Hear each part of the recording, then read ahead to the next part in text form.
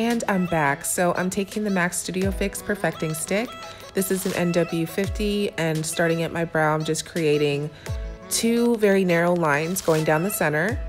And I'm also gonna add a little bit to the tip of my nose as well as to the sides. I feel like this helps to bring the nose in, make it a little bit more pinched and snatched.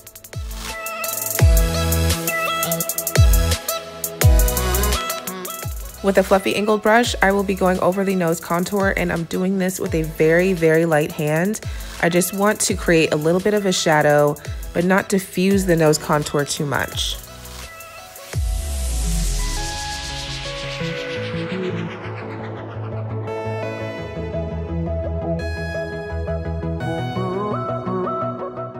Next, I'm taking the Maybelline Dream Brightening Concealer, and this is in the shade Medium Deep. I'm going along the sides of my nose where I applied that contour, and this is just to help further blend out the contour as well as bring the sides of the nose in.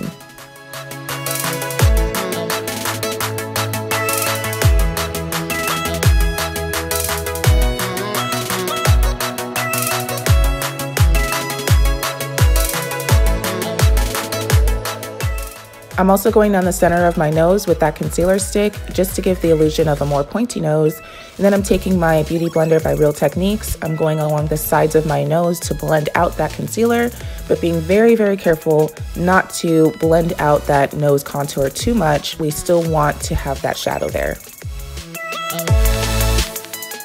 Using a concealer brush, I'm going to be blending out the center of my nose. I'm using a smaller brush just to prevent myself from over blending out that cream contour. And now I'm using the Anastasia Beverly Hills Contour Kit and I'm using a medium fluffy brush and going along the sides of my nose to set that contour.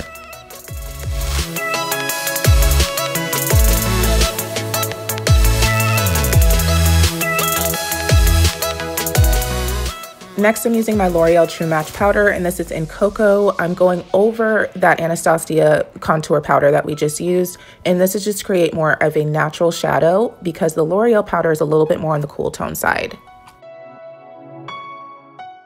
Next, taking my Beauty Blender one more time, I'm going over everything just to make sure it blends seamlessly. I'm going to go ahead and do the rest of my face, and there we go. I added some powder under my eyes to set.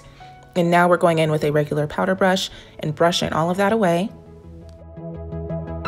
Okay, so the powder diffused the shadow just a little bit too much. So I'm going over again with the L'Oreal powder and Cocoa and just very, very, very lightly going back over that nose contour. Next, with a small concealer brush, I'm taking MAC's Oh Darling Highlight and I'm applying that down the center of my nose. As you can see, I'm focusing it in between my eyes as well as the tip of my nose. You almost want to create like an exclamation mark type of figure. Yes, honey, that nose is pinched.